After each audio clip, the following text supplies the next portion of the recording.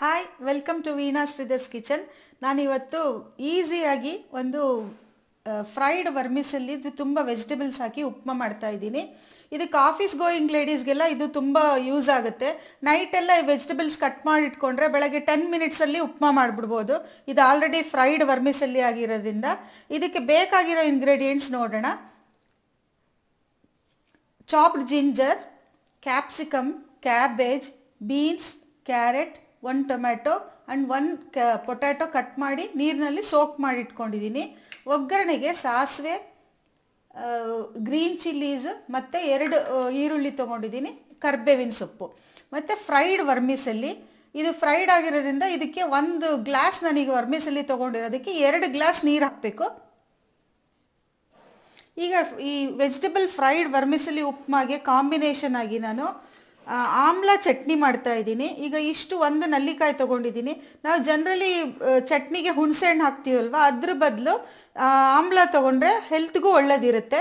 ಇದಕ್ಕೆ ಒಂದು ಆಮ್ಲ ಚಾಪ್ ಮಾಡಿ ಇಟ್ಕೊಂಡಿದ್ದೀನಿ. ಇಷ್ಟು ತೆಂಗಿನಕಾಯಿ, ಐದು ಹಸಿಮೆಣಸಿನ್ಕಾಯಿ, ಐದು ಪೆಪ್ಪರ್ ಕಾರ್ನ್ಸ್ ತೊಗೊಂಡಿದ್ದೀನಿ. ರುಚಿಗೆ ತಕ್ಕಷ್ಟು ಉಪ್ಪು. ಈಗ ಉಪ್ಮಾ ಸ್ಟಾರ್ಟ್ ಮಾಡೋಣ. ನಾನು ಇವಾಗ ಪ್ಯಾನ್ ತೊಗೊಂಡಿದ್ದೀನಿ. ಕಡಾಯಲ್ಲೂ ಮಾಡ್ಬೋದು. ಬಟ್ ಪ್ಯಾನ್ ತೊಗೊಂಡಿದ್ದೀನಿ ಯಾಕೆಂದರೆ ಆಫೀಸ್ ಗೋಯಿಂಗ್ ಲೇಡೀಸ್ಗೆಲ್ಲ ಈಸಿ ಆಗೋವಂಥದ್ದು ಅಂತ ಹೇಳಿದ್ದೀನಲ್ಲ ಸೊ ಈಸಿಯಾಗಿ ಹೇಗಾಗುತ್ತೋ ಹಾಗೆ ಮಾಡೋಣ. ಇದಕ್ಕೆ ನಾಲ್ಕು ಸ್ಪೂನ್ ಆಯಿಲ್ ಹಾಕಿದ್ದೀನಿ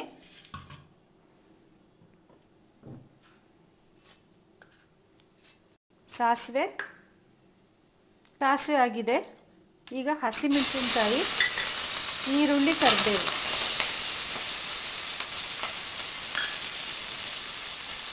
ಚೆನ್ನಾಗಿ ಹುರಿಯೋಣ ಇದು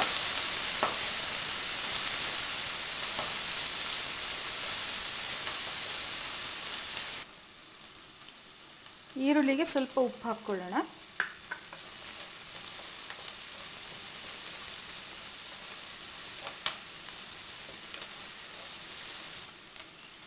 ಸೊ ಕ್ಯಾರೆಟ್ ಆ್ಯಡ್ ಮಾಡ್ತೀನಿ ಕಟ್ ಮಾಡ್ಕೊಂಡಿರೋದು. ಬೀನ್ಸು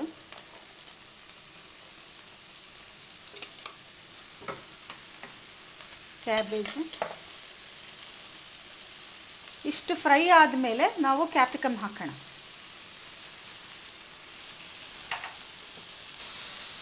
ನಾನು ಹೇಳೋದು ಮರ್ತಿದ್ದೆ. ಅರ್ಧ ಕಪ್ಪು ಗ್ರೀನ್ ಪೀಸ್ ಕೂಡ ಹಾಕ್ತಿದ್ದೀನಿ. ಮತ್ತು ಆಲೂಗೆಡ್ಡೆ.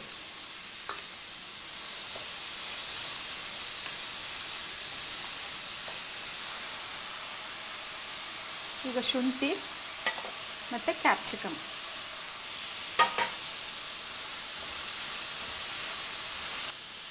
ಈಗ ಟೂ ಮಿನಿಟ್ಸ್ ವೆಜಿಟೇಬಲ್ಸ್ ಎಲ್ಲ ಫ್ರೈ ಮಾಡಿದ್ದೀನಿ.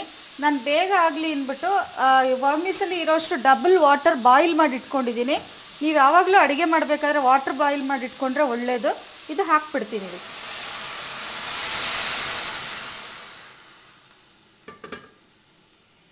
ಇದು ಒಂದು ಮುಚ್ಚಿಡ್ತೀನಿ ಕುಕ್ಕರ್ ವೆಜಿಟೇಬಲ್ಸ್ ಎಲ್ಲ ಚೆನ್ನಾಗಿ ಬೇಯುತ್ತೆ. ಈ ಎರಡು ನಿಮಿಷ ಕುಕ್ಕರ್ ಮುಚ್ಚಿಟ್ಟಿದ್ನಲ್ಲ? ಈಗ ತರಕಾರಿ ಎಲ್ಲ ಬೆಂದಿರುತ್ತೆ ಆಲ್ಮೋಸ್ಟ್ ಎಲ್ಲ ಅದುವೆ ಈ ವರ್ಮಿಸಲಿ ಬೇಯೋಷ್ಟರಲ್ಲಿ ಇನ್ನೂ ಪೂರ್ತಿ ಎಲ್ಲ ಬೇಯುತ್ತೆ. ಇದು ಕುದೀತಾ ಇದೆ. ಈಗ ನಾವು ವರ್ಮಿಸಲಿ ಉಪ್ಮಾಗೆ ಎಷ್ಟು ಉಪ್ಪಿಟ್ಟು ಎಷ್ಟು ಉಪ್ಪು ಬೇಕೋ ಈಗ ನೆಕ್ಸ್ಟ್ ನೋಡಿ ಹಾಕ್ಕೊಳ್ಳೋಣ. ಈಗಿಷ್ಟು ಹಾಕ್ತೀನಿ. ಆಮೇಲೆ ಈ ನೀರಿನ ಟೇಸ್ಟ್ ನೋಡಿದ್ರೆ ಒಳ್ಳೆಯದು ಟೊಮ್ಯಾಟೊ ಹಾಕ್ತಿದ್ದೀನಿ. ಈಗ ಫ್ರೈಡ್ ವರ್ಮಿಸಲಿನೂ ಹಾಕ್ಬಿಡೋಣ ಇದಕ್ಕೆ. ಇದು ಒಂದೊಂದು ವರ್ಮಿಸಲ್ಲಿ ಒಂದೊಂದು ಥರ ನೀರು ತಗೊಳುತ್ತೆ. ಇದು ನೋಡಿಕೊಂಡು ಯಾವಾಗಲೂ ಒಂದು ಸ್ವಲ್ಪ ಬಾಯಿಲ್ ವಾಟ್ರ್ ಇಟ್ಕೊಳ್ಳಿ. ಆವಾಗ ನೋಡ್ಕೊಂಡು ಬೇಕಾದರೆ ಹಾಕಿದ್ರಾಯ್ತು. ಇದನ್ನು ಫೈವ್ ಮಿನಿಟ್ಸಲ್ಲಿ ಉಪ್ಪಿಟ್ಟಾಗುತ್ತೆ. ಈಗ ಉಪ್ಮಾ ಕುದಿತಾ ಇದೆ. ನಾನೊಂದು ಚೂರು ನೀರು ತಗೊಂಡು ಉಪ್ಪು ಸರಿ ಇದೆಯಾ ಅಂತ ಟೇಸ್ಟ್ ನೋಡ್ತೀನಿ. ಸರಿ ಇದೆ. ಮಾಡಬೇಕಾದ್ರೆ ಒಂಚೂರು ಉಪ್ಪು ಜಾಸ್ತಿ ಇರಬೇಕು. ಆವಾಗ ವರ್ಮಿಸಲಿಗೆಲ್ಲ ಉಪ್ಪು ಹಿಡ್ಕೊಂಡು ಸರಿ ಹೋಗುತ್ತೆ. ಇವಾಗ ಒಂದು ಟೆನ್ ಮಿನಿಟ್ಸ್ ಮುಚ್ಚಿಡೋಣ ಇದನ್ನು. ನೋಡಿ, ಇದು ಟೆನ್ ಮಿನಿಟ್ಸ್ ಆಗಿದೆ. ನಾನು ವೆಯ್ಟ್ ಹಾಕಿರಲಿಲ್ಲ, ಹಾಗೆ ಮುಚ್ಚಿಟ್ಟಿದ್ದೆ. ಇದು ಓಪನ್ ಮಾಡಿ ನೋಡ್ತೀನಿ ಇವಾಗ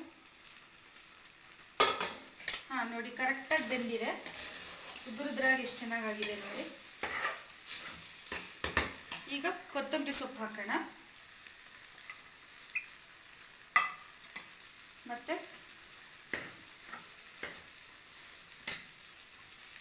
ಒಂದು ಸ್ಪೂನು ತುಪ್ಪ ಹಾಕೋಣ. ಟೇಸ್ಟ್ ಚೆನ್ನಾಗಿರುತ್ತೆ.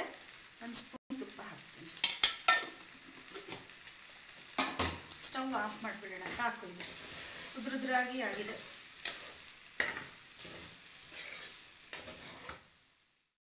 ಈಗ ವೆಜಿಟಬಲ್ ವರ್ಮಿಸಲಿ ಉಪ್ಮಾ ಮತ್ತು ಹೆಲ್ತಿಯಾದ ನೆಲ್ಲಿಕಾಯಿ ಚಟ್ನಿ ರೆಡಿ ಇದೆ.